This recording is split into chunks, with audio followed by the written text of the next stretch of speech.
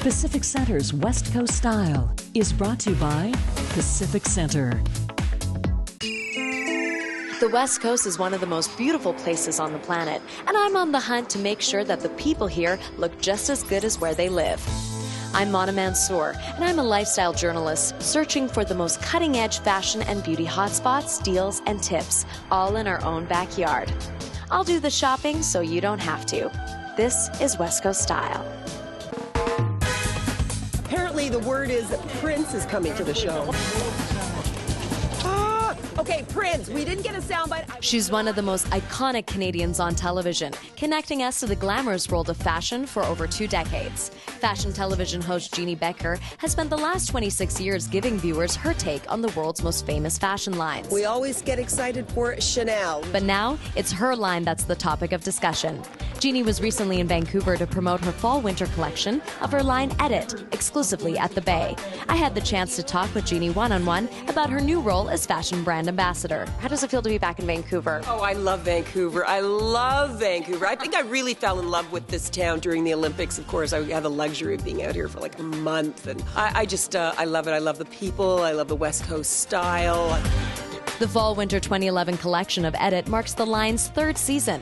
Edit has maintained being affordable and accessible, as seen at a public fashion show in Vancouver hosted by Jeanne. I, I never would ever, ever, ever think of myself as a designer. What were your original goals with Edit, and do you think you've achieved them? Yeah, and I think I'm, you know, achieving them of all the time. And obviously, there's so many more directions that we can grow in. But first and foremost, it was um, a, a way of really having a great dialogue with women. And that's what I feel like I'm doing with Edit because these are my picks. These are the pieces that I wear. This jacket is a definite must-have. There's a big focus right now to incorporate luxury brands. How important is to keep your line that base point for accessibility for everybody? I really don't think that style necessarily has to cost a lot. What's so wonderful about fashion today is it's been so democratized that it doesn't have uh, a lot to do with spending a lot of money at all, at all, at all. Jeanne Beker also wanted to give back to the community through her line.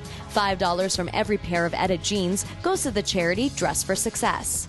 You've been involved with so many charitable organizations over the years, and you had quite a lot to choose from. Uh, why specifically Dress for Success for Edit? I thought it was really important to choose a cause that really was essentially about fashion and the way fashion can empower someone. And so that's what Dress for Success does. It provides women with clothes to make them, you know, really put their best foot forward. Jeanne has traveled to the most glamorous and fashion forward cities in the world, but still thinks our fair city of Vancouver does have style. You know, you walk down the streets here and there's some very chic looking people. You know, you've got a pretty sophisticated restaurant scene and some very swank hotels. And, you know, I, I see people out and about uh, looking, you know, incredibly chic. Now for our style tip of the week, courtesy of Jeanne Beker. To be fashion forward, Jeanne advises making brave choices, being creative, um, mixing things up in interesting, innovative ways, and stepping a little bit outside of your comfort zone sometimes. Thanks, Jeanne. I'm Mona Mansour for West Coast Style.